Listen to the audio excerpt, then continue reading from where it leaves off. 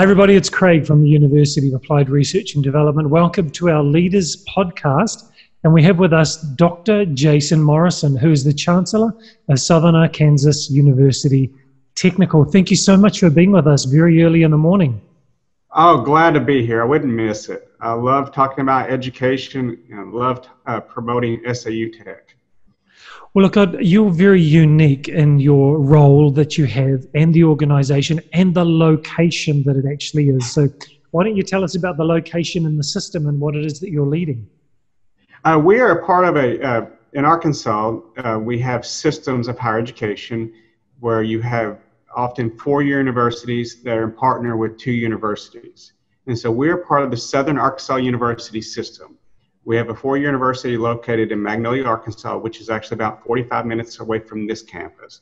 And SAU Tech is kind of the two-year university, uh, part of that system that focuses very heavily on career and technical education, along with uh, transfer education and workforce training. And our institution is very unique as we actually set in the middle of the largest privately owned industrial park in the United States. Uh, Camden, Arkansas, and the campus is actually located in East Camden, Arkansas, sits in the middle of the defense industry in the state of Arkansas.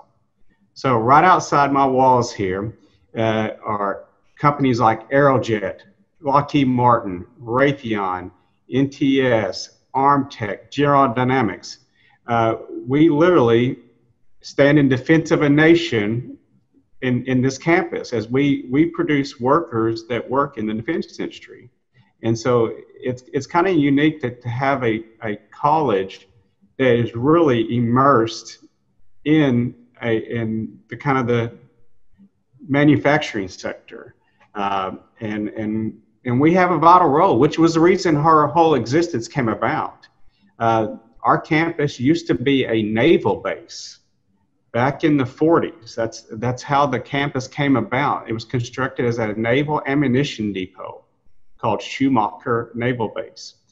And then when the naval base was decommissioned, uh, a family came in and took over the kind of the property and started the development into uh, the defense industry. And, and that's how the, the campus came about is because they needed an educational institution to provide workers and a workforce to support the growth of the defense industry. And so our college was created in 1968, um, known as Southwest Technical Institute. And as it uh, grew and merged with the Southern Arkansas University system, it became SAU Tech. So we, we literally will produce workers that will go into quality control, non-destructive testing, and manufacturing of rocket motors, missile defense shields, um, many things like the THAAD missile defense uh, shield, or most people have heard of Tomahawk missiles, all made here in, in Camden. Um, I, I, know I have colleagues that talk about when they see defense contract issues, we see million and billion dollar contracts.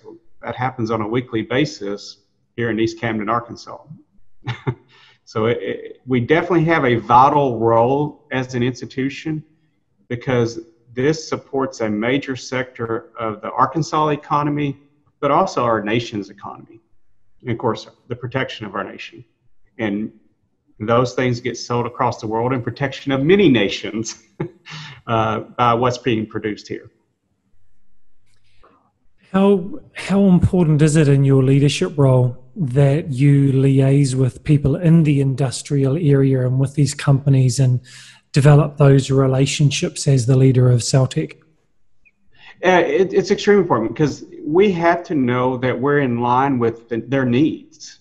We have to know that we're producing the students that have the, the technology capability, the learning capabilities uh, to move right into that workforce. Uh, matter of fact, earlier this week, I, I, had a meeting with one of the directors, and we were talking about partnerships and and creating uh, learning labs on our campus that uh, mimic the production floors. And we have partnerships with, that we've already created with other industries in the park where they have actually created a learning center on our campus that we can engage in workforce training uh, to ensure that you know if they hire someone, they come to SAU Tech and we go through series different series of and different levels of workforce training to prepare them to be on the production floors because their job is extremely important.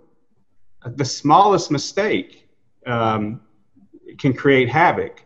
And so we, we provide a lot of essential skill training uh, partnerships. We provide many levels of advanced training for after they go through essential skills, kind of continuation training to very customized training. Uh, and some of that time, sometimes that training leads to degree programs, like in the area of non-destructive testing, which is the digital X-ray of all these rocket motors and rocket parts and and and defense parts that they produce. All of it has to be X-rayed.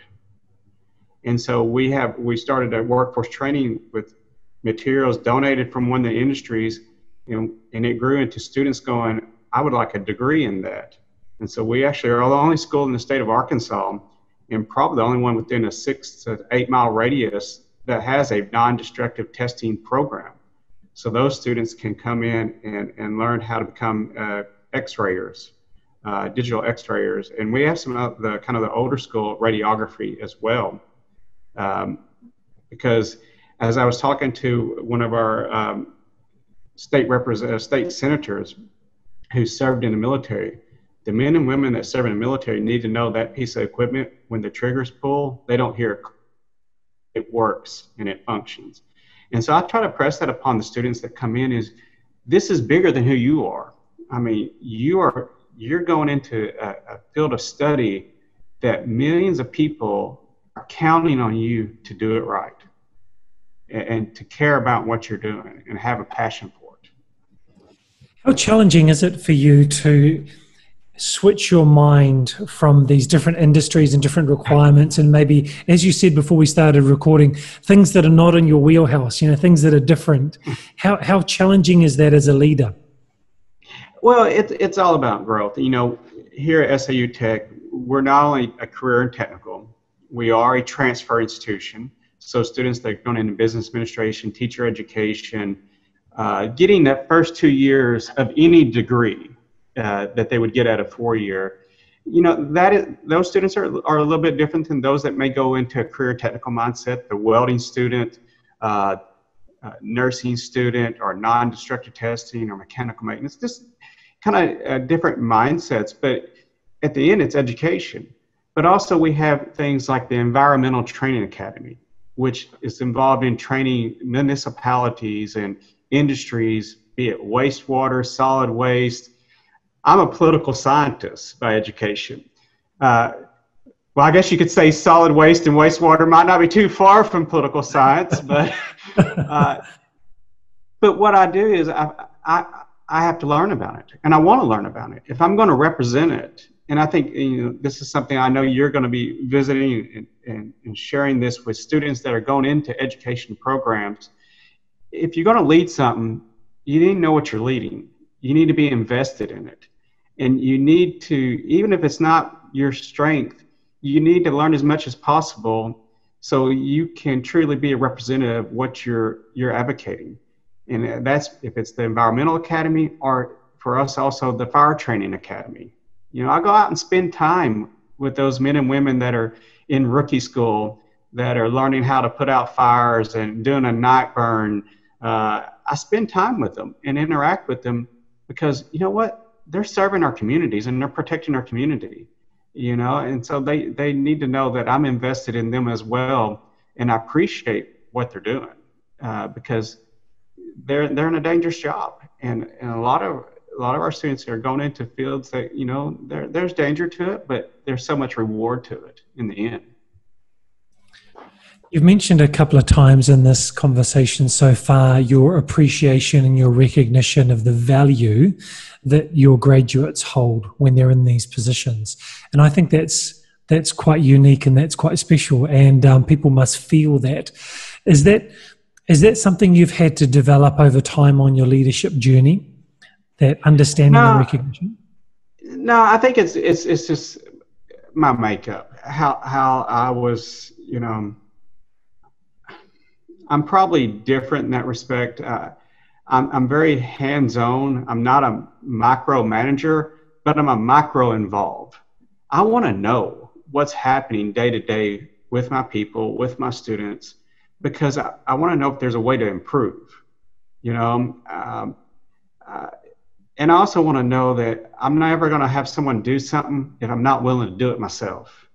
If I expect someone to go out and build something or do this, I have to be willing to do that myself. And and so a lot of it's by example. You know, uh, if I got people in the trenches that are doing something, well, I'm gonna go out there and do it with them. I mean, kind of example. Earlier this spring, we we had a, a campus-wide initiative to do some major cleaning and, and, and cleaning the buildings. Well, my wife and myself were out there pressure washing at six in the morning, housing, student housing buildings.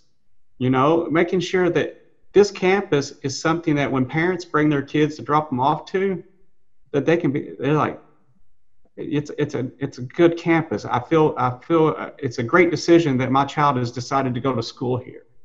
And so if you're not willing to get out there in the trenches yourself, get a little dirty, a little grimy, then then why are you doing it? You know, I mean, uh, be it if it's we're and it's a family affair, be it if we're pressure washing buildings or or building a softball field because you know two years ago we started athletics.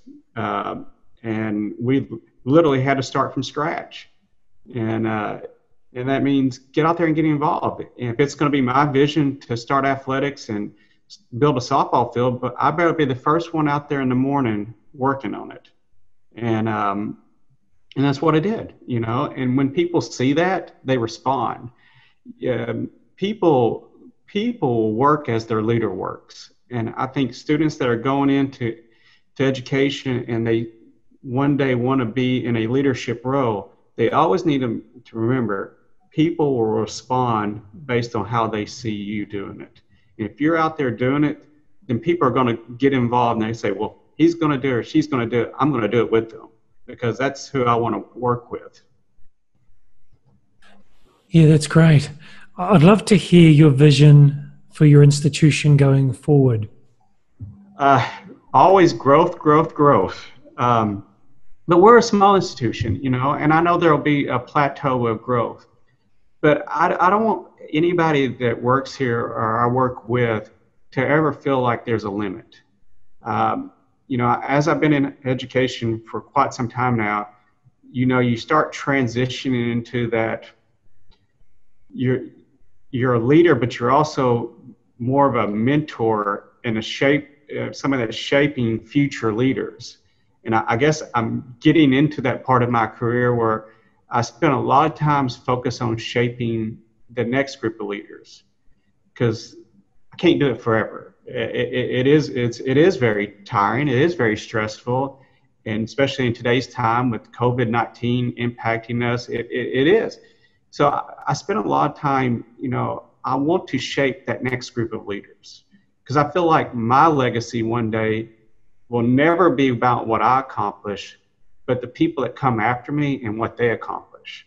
That's what I look forward to one day looking back on my career going, because I really don't care what I do. And half the time I forget the things that we have accomplished because I'm so focused on what can we do next. And that's what I try to instill in my people is, yeah, we did that. Today's a new day. What are we going to do now? What are we going to do next to push the to push the higher education forward, improve the reputation of higher education, uh, not, not only inside the United States, but across the world, you know, and we always got to be willing to take a risk and chance chances. So I'd love to see our institution grow, of course, in enrollment, but also grow in in our reach. You know, we're just not a small community college that serves just this surrounding area. We have students from all over the state of Arkansas, uh, Texas, Louisiana, Mississippi, Oklahoma. We, we've been able to start attracting students from further off uh, to come to this little institution that sits in South Arkansas in the middle of an industrial plant and lots of trees. and, and so we got to continue to focus on growth, you know, making sure our programs are meeting the needs of students, that we're meeting the needs of our industries, and that we're providing workforce training that advance the economy. I'm a true believer with the economic impact that COVID 19 has had, that community colleges are going to be the, the, the flame that kind of starts the fire, starts the engine to economic regrowth. Because I think we're more quick to respond based on workforce training needs. We've always been evolutionary in our nature and never kind of um, just stuck in kind of traditional ways of doing things. We've always been willing to kind of, if it has to be done different, we'll do it different. And so I think as we grow, uh, regrow economically, you're going to see the importance of two-year institutions that are both transfer and career and technical focus leading the way. And, and that's going to help the four years regrow as well during this time because it's providing them a student that's already seen success. And, and I think the four-year university growth will will grow, continue, increase to grow, and we'll see growth not off the, the kind of the historic traditional population, but the population of students that started at a two-year uh, career and technical or transfer institution. So I don't anticipate us ever to not find a way to grow or find an opportunity a lot of it's going to be different. It's going to be partnerships with industry. It's going to be partnerships with um, other universities uh, across the United States, across the world. One one partnership that I've tried to work on in the past at different institutions is partnering with a, a university in, an, in another country to provide educational opportunities and advancement, so students can learn from each other. You know that there's there's multiple ways to to reach an end goal and that you need partnerships and you need to kind of get outside of your comfort zone and experience things how other people are experienced so you can truly kind of appreciate or see opportunities of growth, uh, growth for yourself. Um, but let's hope the enrollment grows. Uh, let's hope that uh, we can grow the economy, which leads to more growth in enrollment, and and then I think this institution will continue to prosper. Jason, in just a couple of minutes we have left, for people that are aspiring leaders, regardless of their industry, what would you say to them when they're thinking about what are the experiences that they need to build, or attitudes or competencies? What are one or two things you would advise them to build? Uh, I would I would tell them uh, to always appreciate the moment that you're in. Um, I had a kind of a quick um, rise into administration.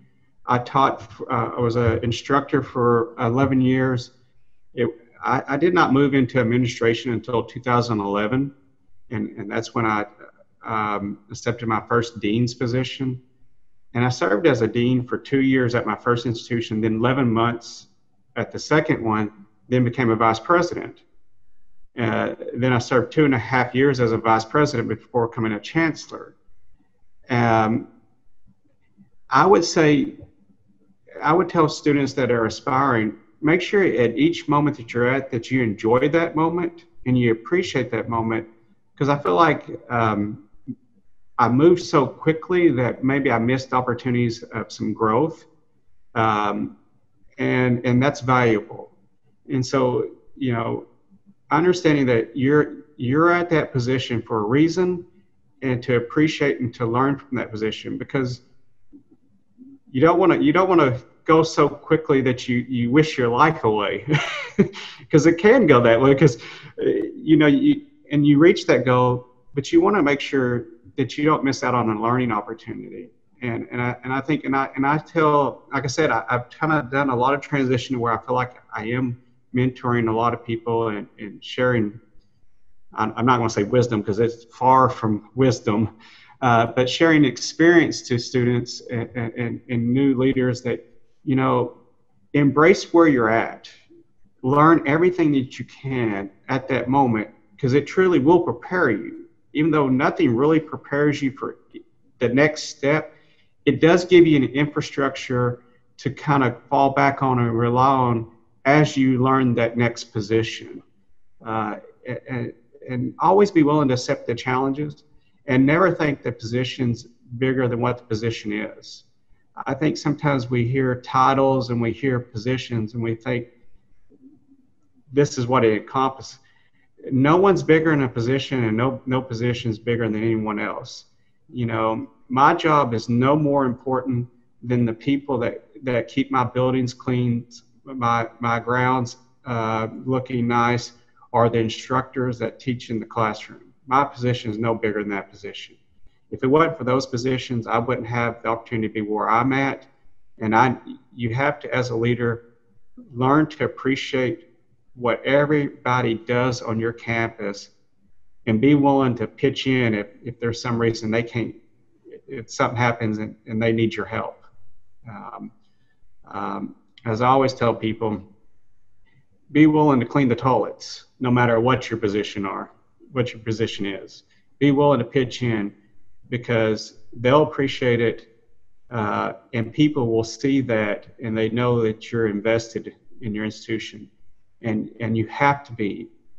And I know people change jobs, you know, throughout their career, but when you take a job, be all in.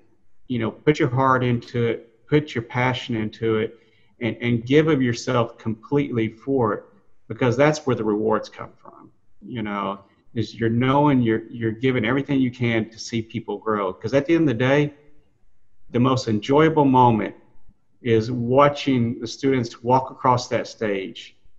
And and this, you know, we, we serve a very low socioeconomic population. First generation, 80 plus percent of our students, first generation stu- college students big deal. And they deserve that recognition that it, it is a big deal.